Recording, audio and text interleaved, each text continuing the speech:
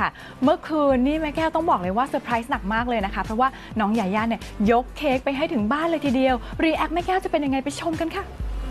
Happy birthday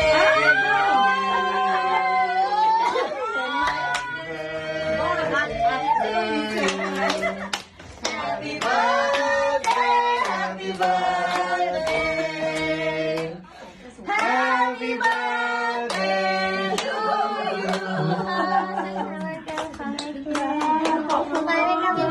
ความสุขมากๆค่ะ ขอบคุณมากมากๆนะคะยายา Happy birthday to you นิทานแล้วก็เปล่า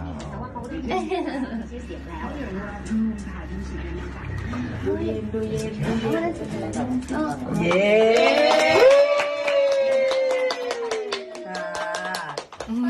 เป็นไงคะเล่นเอาแม่แก้วเซอร์ไพรส์แล้วก็ดีใจหนักมากเลยค่ะ จนร้องเรียกหาโทรศัพท์มาถ่ายคลิปแทบไม่ทันเลยนะคะ เมื่อน้องญาญ่าหวานใจของลูกชายทำหน้าที่ยกเค้กมาเซอร์ไพรส์แล้วก็อวยพรวันคล้ายวันเกิดให้ถึงบ้านเลย